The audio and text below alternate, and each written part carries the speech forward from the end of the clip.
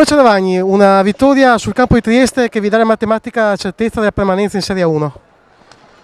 Sì, beh, era quello che cercavamo, abbiamo fatto una bruttissima partita, però insomma alla fine è quello che conta il risultato, per cui va bene così. Quindi un campionato tutto sommato positivo il vostro?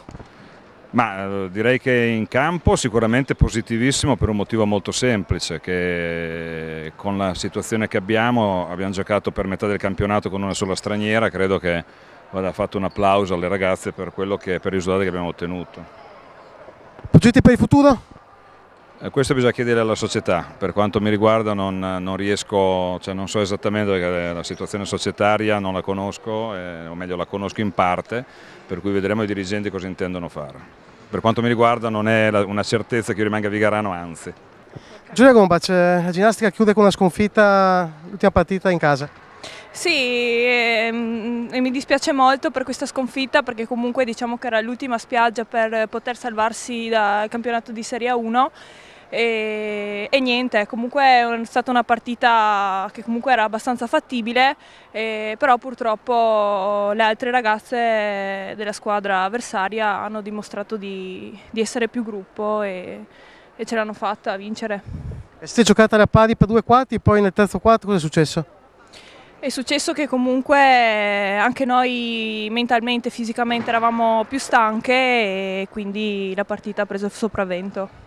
Coach Tomei, eh, una SGT che ha detto per eh, due quarti, poi cosa è successo?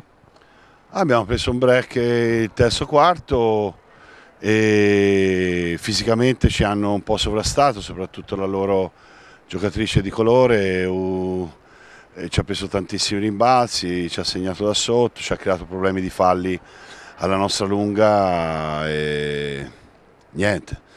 No, direi che abbiamo retto più di due quarti, abbiamo retto oggi per la prima volta quasi 30 minuti. Se ci fosse ancora una parte di campionato magari arriveremo a 40, però oramai purtroppo il campionato è andato. Ecco, ultima partita in quella di Ragusa sabato. Beh, ultima partita andiamo per giocarcela, ripeto, dei, dei piccoli miglioramenti chiaramente sono stati visti dalla squadra. Certo che Ragusa è prima classifica o seconda, e...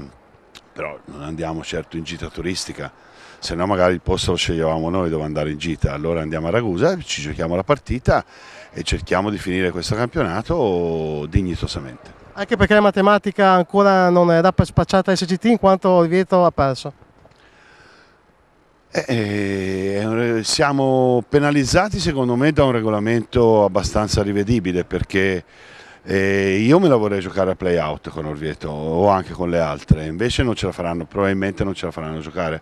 Speriamo di sì, speriamo di andare a fare una buona partita a Ragusa e cercare di strappare due punti.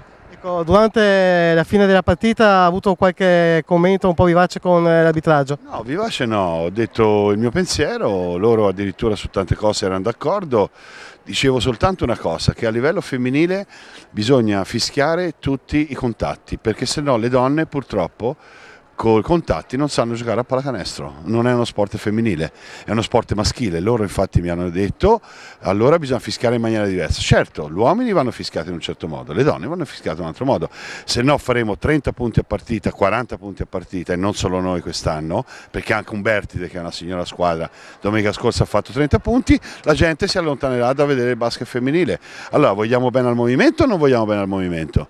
Se lo capiscano bene, ma lo dovrebbe capire soprattutto la federazione operazione. Brunelli, una matematica salvezza quella di oggi raggiunta sul campo di Trieste che vi dà la piena soddisfazione?